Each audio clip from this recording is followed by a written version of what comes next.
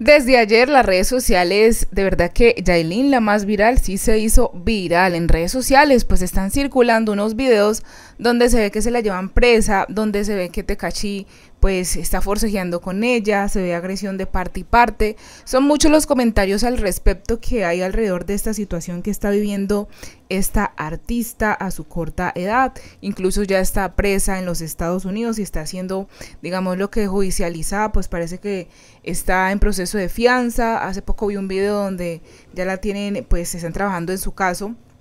pero realmente algo que preocupa mucho a los seguidores de Yailin es que ella tiene una hija muy pequeña y exponiéndose en este tipo de situaciones fácilmente, Anuel podría hacer algo para poder quitarle su hija.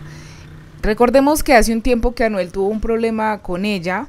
Este le dijo que no quería que su hija estuviera cerca de Tecachi y al parecer el tiempo le ha dado la razón porque en una relación tan tóxica, este no es un ambiente para una niña a esa corta edad, aunque no entienda las cosas, al estar expuesta a ese tipo de situaciones no es sano para ningún menor de edad que esté rodeada de ese tipo de problemas tan tóxicos. Aunque Anuel AA no se ha manifestado al respecto, obviamente él se sentirá afectado por esto, porque es su hija la que está pasando por una situación difícil, en este momento está alejada de su madre, que está siendo retenida por las autoridades. No sabemos qué irá a hacer Anuel. Ojalá Yailin salga bien librada de esta situación porque se ve que es algo que